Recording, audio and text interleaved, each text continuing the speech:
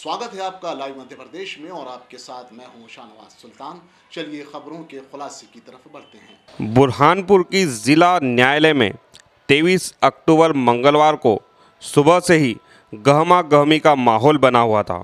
सभी की नज़र जिला अपर सत्र न्यायाधीश की कोर्ट पर टिकी हुई थी, क्योंकि तेरह साल बाद इस कोर्ट में बुरहानपुर के बहुचर्चित सिटीजन बैंक घोटाले का फैसला आने वाला था।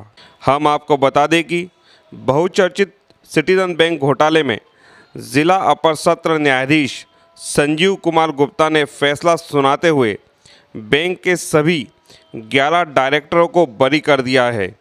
वही इस बैंक घोटाले में दोषी मानते हुए bank manager Hargovind Singh Yadav, cashier Kamlesh Patel, शाखा प्रबंधक संजय कक्कड़, महेंद्र लाट सहित ठेकेदार अमर डोडवानी और गुरमीत सिंह बिंद्रा को चार चार साल की सज़ा सुनाई गई है। दूसरी ओर, डायरेक्टरों के बरी होने के बाद कोर्ट परिसर में डायरेक्टरों और उनके परिवार के लोगों को बधाई देने वालों का तांता लग गया।